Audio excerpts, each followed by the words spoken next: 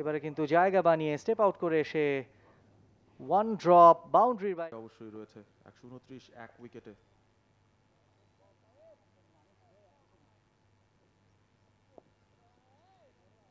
আবারও আটকে রেখেছেন তাকে সাইফ হাসান। ভালো বল করছেন। স্টাম্পের বাইরে একটা একটা রিং ফিল্ড সেট আপ সেটাকে পাশ কাটিয়ে অবশ্য কিছুটা নিচু হয়ে গেল। রবিউল ইসলাম রবি তার দ্বিতীয় ওভারটি নিয়ে এসছেন। তবে তিনি বল ওয়াচিং করছিলেন যে কারণে শুরুর দিকে বেরিয়ে আসতে পারেননি তামিম। মানে কষ্ট করে তাকে আবারও ফিরে যেতে হলো নন স্ট্রাইকিং এন্ডে তবে ম্যানেজমেন্ট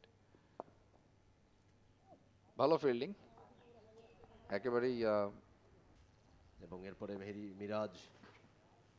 তিনি আংবারে পারভেজ রাসুল। ওভারের প্রথম বলটা করলেন স্ট্যাম্পের উপরে খেলেছেন লেগ সাইডে।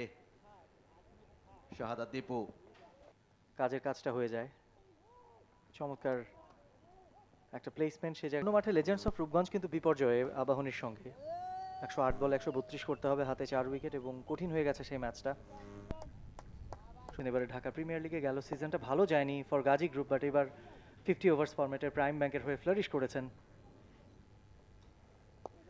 এবারে কিন্তু স্লক করেছেন লং অফ বাউন্ডারিতে সেখানে সৈকত আলী, বদলি ফিল্ডার তিনি। তার কাছ থেকে দেখিনি লেগ স্টাম্পের ওপরে ছিল, ব্যাটের বাইরের কানা ছুঁয়ে শর্ট থার্ড ম্যান সেখানে আপিল হয়েছিল। কিপার রান খুব একটা বাকি নেই।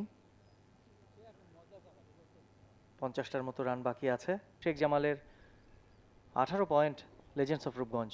Taibur পারভেজের আরও একটা ওভার। সাদাত হোসেন দীপু ড্রাইভ করেছিলেন। নিজের বলে নিজেই ফিল্ডিং করলেন তাইবুর পারভেজ। সেই অ্যাটাকিং ইনসুল বল হাতে ডেলিভার করতে পারেননি। মিরাজও সাকসেস দিতে পারেননি ইনজয় কোটা শেষ করে ফেলেছেন। এবারে কিন্তু একটা ড্রাইভ করেছেন অফ ড্রাইভ শর্ট কাভারে ফিরা ঝাঁপিয়ে পড়ে সার্ভিস তার কাছ থেকে এক্সপেক্টেড ছিল শেখ জামাল ধানমন্ডি ক্লাবের। এবারে লুজ ডেলিভারি একটা জায়গা পেয়েছিলেন।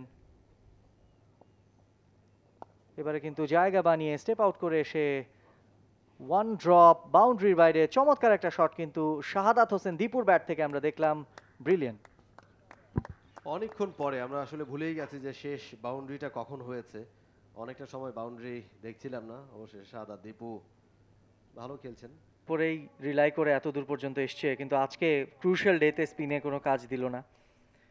এবং মনে হয়েছে একজন দুজন স্ট্রাইকিং পেস পেস বোলিংয়ে অফ স্টাম্পের বাইরে ছিল এবার।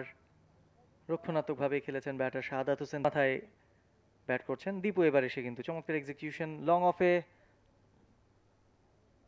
এবং লং অফ অফে ফিল্ডার থাকা পারভেজ রাসুল তিনি কিন্তু নাগাল পেলেন না। পরে বল এবার আলতো করে পুশ করতে চেয়েছিলেন। ওভার থ্রো হয়ে গেল। বলটা ধরে স্ট্রাইক প্রান্তের উইকেটটা ভেঙে দিতে চেয়েছিলেন সাইফ হাসান। আবারও কাট করেছেন। এটাই করতে চাইছিলেন। ফিফটি মেরে ম্যাচটা শেষ করতে চাইছিলেন। বাউন্ডারিতে ম্যাচটা শেষ করতে চাইছিলেন। For more updates, subscribe to our YouTube channel and click on the bell icon. Follow us on Facebook and Instagram. Don't forget to like, comment, and share. Visit tsports.com.